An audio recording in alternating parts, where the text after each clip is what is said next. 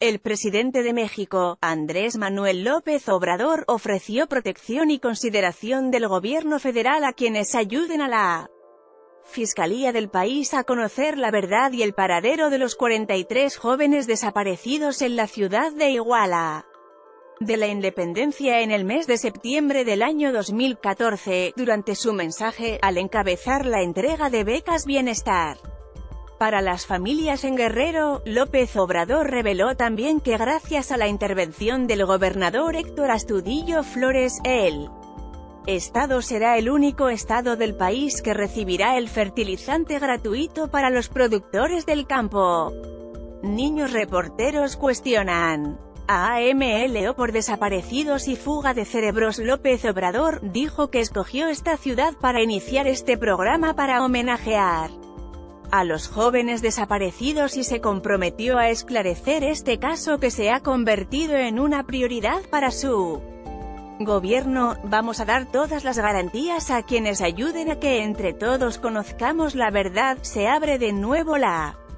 investigación para que todo aquel que quiera ayudar a que se conozca la verdad va a tener protección y va a a ser considerado como lo permiten las leyes porque nos importa mucho saber la verdad y el paradero de los jóvenes de Ayotzinapa, expresó, el mandatario señaló que llegará hasta las últimas consecuencias de este caso porque ya no desea que Iguala siga siendo vinculada, estos hechos horrendos queremos que se limpie e iniciamos conociendo la verdad una etapa nueva para Iguala, para Guerrero y para México. Por otro lado, Andrés Manuel López Obrador reconoció que el gobernador de Guerrero, se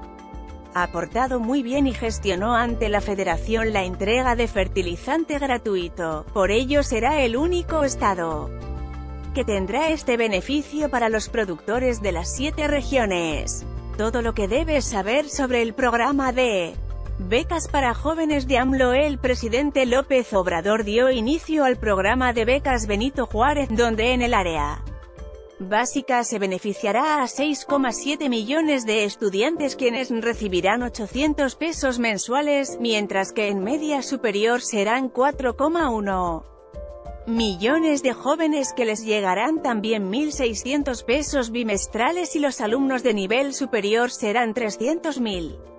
becas de 2.400 pesos mensuales cada uno.